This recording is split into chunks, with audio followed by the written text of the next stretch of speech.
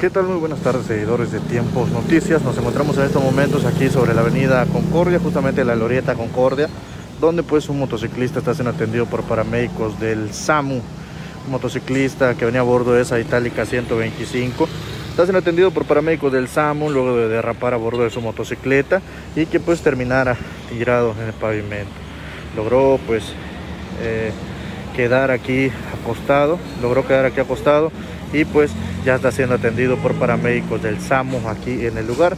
Agentes de la PEP que pasaban por el lugar pues tomaron conocimiento de lo sucedido y pues ya le brindaron el apoyo. De igual manera agentes de vialidad ya se encuentran aquí en el lugar ya tomando conocimiento de lo sucedido. Están valorando al motociclista pues para ver si requiere o no traslado médico a un hospital. Es lo que está aconteciendo en estos momentos. Seguidores de Tiempo Noticias, ya va a ser valorado el motociclista por paramédicos del SAMU ya va a ser valorado el motociclista, pues agentes de la policía estatal pues obviamente paran el tráfico pues para que el joven pueda ser valorado aquí a bordo de la ambulancia. Es lo que está aconteciendo en estos momentos, seguidores de Tiempo Noticias.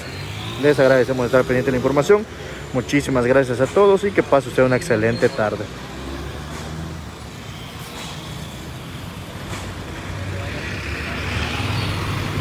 Como les comentamos, el motociclista venía a bordo de esa Itálica 125, pierde control y termina derrapando, quedando tendido en el pavimento, por lo que fue pues eh, auxiliado por agentes de la policía estatal. Que pase, muy buenas tardes.